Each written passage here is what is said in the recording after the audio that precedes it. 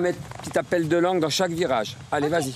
Pour la seconde fois en moins de deux ans, les aspirants cavaliers de Tahiti ont pu bénéficier de la présence d'un éducateur de haut niveau, puisqu'il s'est occupé notamment de la délégation française aux Jeux Olympiques.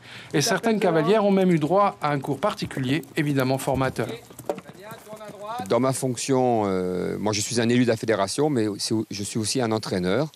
Donc euh, ça me permet aussi bien de m'occuper des, cavaliers polynésiens, mais aussi de rencontrer un petit peu toute l'administration du sport en Polynésie pour leur faire part euh, des points positifs et des petits points négatifs de l'équitation en Polynésie. Ça m'a apporté euh, que mon cheval et moi, on va s'améliorer en concours, en cours, en cours collectif. Et ça va nous permettre de beaucoup mieux réussir en concours et essayer de gagner la première place tout le temps en général. Brève reconnaissance collective avant le départ. Ce qui est important, c'est d'enregistrer le parcours et de pouvoir se le répéter sans regarder, sans dire ah bah là c'est le 1, là c'est le 2. Avant la mise en pratique. Frédéric Morand, lui-même gérant d'un centre équestre près de Bordeaux, peut être aussi habilité à délivrer des labels qualité aux différents clubs locaux qu'il est amené à visiter lors de ses passages en Outre-mer.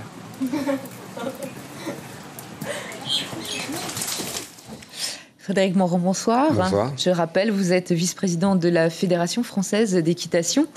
Euh, vous êtes invité par la Fédération polynésienne, une fédération qui se porte plutôt bien. Je le disais, 500 euh, membres et puis en 2017 des titres, hein, de l'or et de l'argent par équipe sur l'outre-mer, de l'argent national individuel avec Naya euh, Picard. Comment est-ce qu'un petit territoire comme le nôtre peut fournir des champions de ce niveau?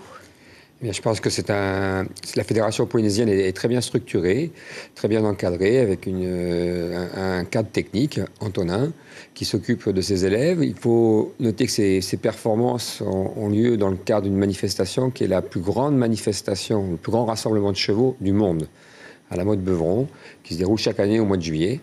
Donc ce n'est pas un petit événement auquel participent les cavaliers polynésiens. C'est tout un travail qui a été mis en place depuis de nombreuses années et dont aujourd'hui les résultats sont là pour le prouver. Voilà, chaque année vous faites venir en fait, euh, comme vous, un cadre de haut niveau. Alors la fédération polynésienne, à la sélection de cavaliers, de juges arbitres, etc. C'est ça. la fédération polynésienne a un, partenariat avec la fédération française d'équitation. Moi, c'est ma deuxième mission euh, en Polynésie. Donc j'apporte toute une expertise aussi bien auprès des cavaliers que des officiels de compétition, visite des clubs aussi pour les aider à s'améliorer, à, mieux se structurer. Alors justement, quatre clubs en Polynésie, deux à Pirée, un à Taravao, un à Rayatea et une base de loisirs à Rurutu. Euh, est-ce qu'on peut réussir à, à démocratiser à populariser ce sport qui, est plutôt, qui a plutôt une réputation élitiste? Il ne faut pas tout mélanger. C'est-à-dire que quand on fait de la compétition euh, de, haut niveau, comme font les cavalières polynésiennes, évidemment, là, il y a un investissement en temps donc, et, en argent. Mais la pratique de l'équitation, pour débuter l'équitation et à, raison d'un cours par semaine, n'est pas plus onéreuse que, que d'autres sports. Donc ça, c'est un tabou qu'il faut chercher à, à, combattre.